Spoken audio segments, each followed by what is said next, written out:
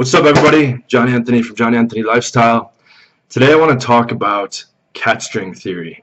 Okay, very, very important concept. Another one that is often overlooked. Okay, my last couple videos I was talking about some old school mystery principles. Okay, not mystery as in what are they? Mystery as in the guy from the book The Game. Okay, who was the wingman of Neil Strauss. That's how a lot of us found out about this seduction and pickup and dating stuff. Okay, this was the early founders, and I'm kind of going through some of the golden nuggets from Mystery's trainings. Okay, and from his his ideas about what's going on here in social dynamics. So before we continue, please press the subscribe button below. Make sure you press notification bell so you're alerted of new videos every week. So what is cat string theory? Okay, let me start off. When I was in high school, okay, I was incredibly shy, incredibly awkward, had social anxiety, general anxiety, panic disorder, terrified to talk to chicks, terrified to even talk to fucking dudes, okay, not to hit on them, but just as just terrified to talk to everyone, okay. I sat with like two really nerdy kids at lunch. Like I never in a million years imagined being in this place right now, fucking over a thousand chicks, right, having hot chicks all around all the time. Like in high school, I was literally like day trading stocks. I was sneaking out of lunch to go day trade stocks, playing the violin. I was in math competitions. I was uh, chess competitions. I ended up playing professional poker in early college. I was reading about artificial intelligence taking over the world. You know, all kinds of shit that was, you know, far beyond my years while everyone else was fucking having fun and partying and getting laid, okay? And no, that's not some marketing fucking sad story you know, a lot once I once I found out there's marketers in this space, like creating like the hero stories so they can relate. I actually had all that shit going on. Okay, and when I got into college, when I first started dating chicks, I thought, as many of you probably do, that you know, the more like the more shit you do for a girl, there will be a correlation to how much she likes you. This was my mentality. This is what's told to us you know, by our parents. This is what's told to us by society. This is what's told to us in the fucking Disney movies, okay? I'll repeat that because a lot of you, I'm sure, because I've had a lot of clients, I've been coaching since 2012, I had a lot of clients that have had the same sentiment. I've seen this in the forums. This is how I felt myself. The more shit you do for a girl, the more nice stuff you do for a girl, okay, the more she will like you. That's, I'm saying that was a mistaken mindset. And I'll go into how this relates to cat theory and what the correct mindset should be. But I thought, okay, if I take her to a whole bunch of dinners, I'm earning points. If I buy her flowers, okay, I earn points. If I buy her chocolate, okay, I earn points. I, I would actually buy them like fucking stuffed bears and shit too. I wasn't even dating very much in college, especially in early college. But I thought doing all this shit, right? Okay, I like her. I'm gonna tell her that all the time. That's gonna increase my chances. Um, what else? Uh, she fucks up. It's okay. Like if I challenge her or, or express, first of all, I didn't, I didn't know how to set boundaries with anyone, men or women, okay, or with my family. And people would walk on me and all that kind of shit, and I was just kind of very passive and kind of like a fucking doormat for a lot of people, okay? And I have a video on having boundaries as a man. Check that out. I highly recommend it. But you know, um, with with all that going on, right? I thought, okay, this is how I become more in the girl's favor, and actually, it was the direct opposite. Okay, so what is cat string theory? Cat string theory is a principle by mystery that he says if you dangle a string, okay, from a ball of yarn, you dangle a string in front of a cat, it will reach for it, it will jump up, it will do you know, do tricks, whatever, to try to get that yarn. It really, really wants that, that yarn, but you're just dangling the string. However, if you are to give the whole yarn, the whole ball of yarn to the cat, it doesn't want it anymore. Okay, isn't that interesting? So, how does that relate to game and seduction and fucking hot chicks, okay, and keeping hot chicks? Well, you don't want to make yourself fully available. You don't want to be needy. You don't want to be desperate. You don't want to just be unconditionally showering her with you know gifts and praise and all this stuff. Okay, it's okay. I have a video called "How to Be a Gentleman Without Being a Pussy." I don't know if that's the exact title, but search my channel for gentlemen. I think that's what I'll, I'll, put the I'll put the picture of it. I'll find it. I'll put the picture of it here on the video. But you know, girls like asshole guys and bad boy guys because largely there's just a string dangling. Okay, the guys don't give a shit that much, right, or at all.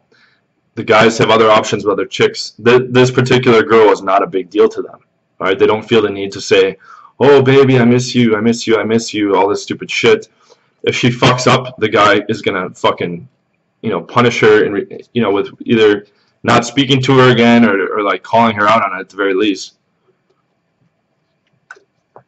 And he's gonna do nice shit, kind of intermittently, but only, you know, to reward good behavior and, and only because he feels like doing something. Like when I take out a chick to a dinner, it's not to gain points. It's because I want to fucking go eat steak or I want to go have an Italian dinner or whatever. And I, it's nice to like dress up with some fucking hot chick I'm I'm dating. It's not, you know, I'm not doing it from this place where it's like here's the yarn, right? So keep that in mind with all your parts of your interactions with women. If you keep it where it's just a string dangling, okay, where you're just giving them a little taste of the cake. I think that's another analogy that he uses, or, or someone fucking used that.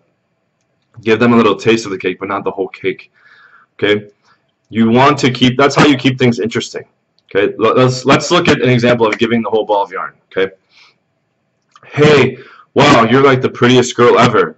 Oh my God, and I'm gonna and I'm gonna tell you that every day. Uh, good morning, babe. Like, how's your day going? You know, texting too much complimenting too much. Hey babe, like here's some flowers. Let's go to dinner. Oh, can I can I uh, do this for you afterwards? Can I buy you an ice cream? No. Oh, can I get you this this bear? I mean, I'm being extreme here, but a lot of you are leaning towards that side.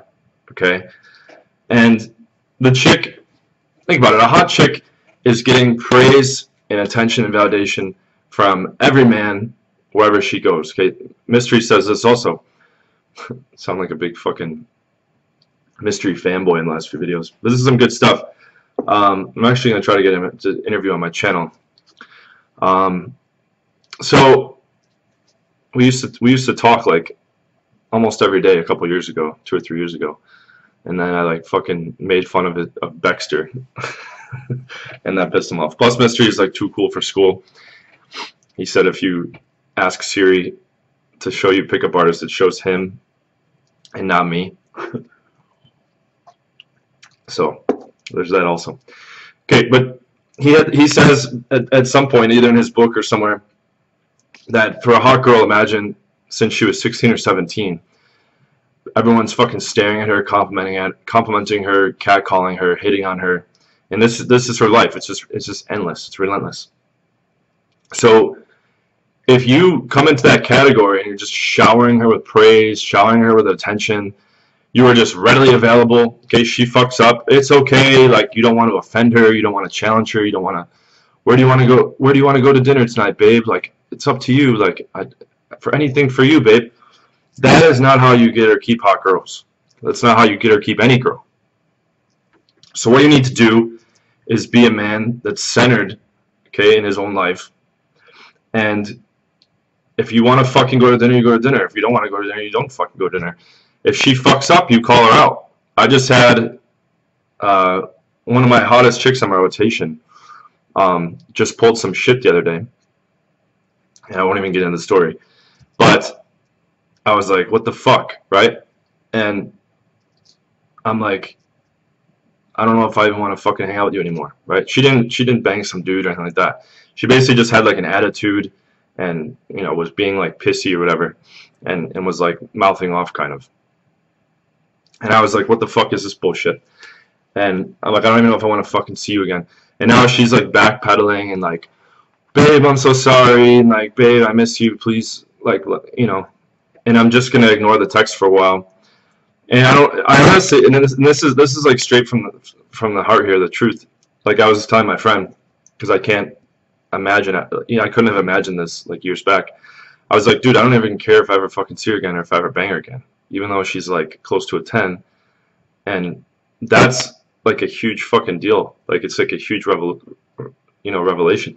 I'd rather hang out with a chick that's a little less hot, that's fucking cool, and not pulling bullshit. Like, you know. But that's the thing. It's like she's never gotten the ball of yarn, and she never will. And she has like a million dudes hitting her up, and she wants me, okay? Because they're all like, here's the yarn, here's the yarn, here's the yarn, and that's boring for her. Okay, she's done that a million times. So you have to be the dude that's going to call them on their shit. Watch my video, Boundaries is the man. That's going to be nice to them until they fuck up. Okay, but not pussy nice. Huge difference. Okay, and then that's that other video I was referencing, which I will I will post this, the uh, thumbnail of.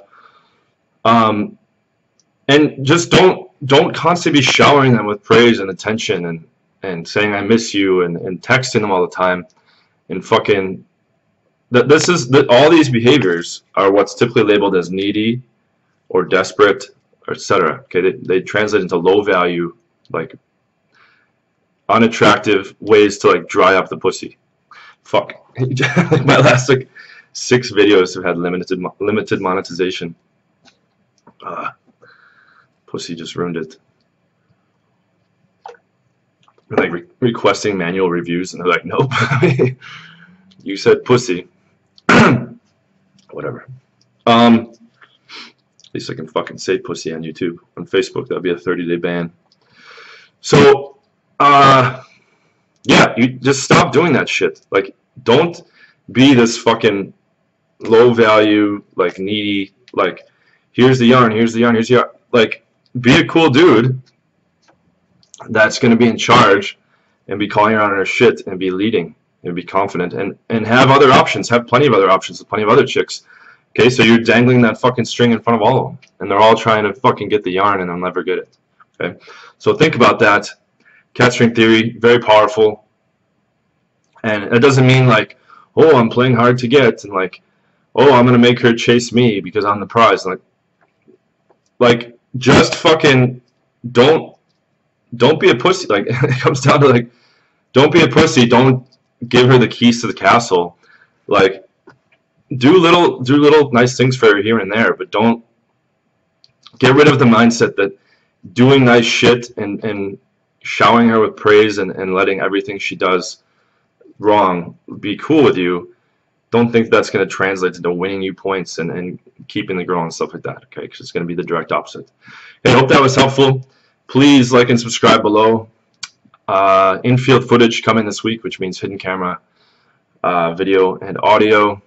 There will be clips. The the full the full infield stuff um, is in my product, the paid product, Occam's Razor. Link below in the description.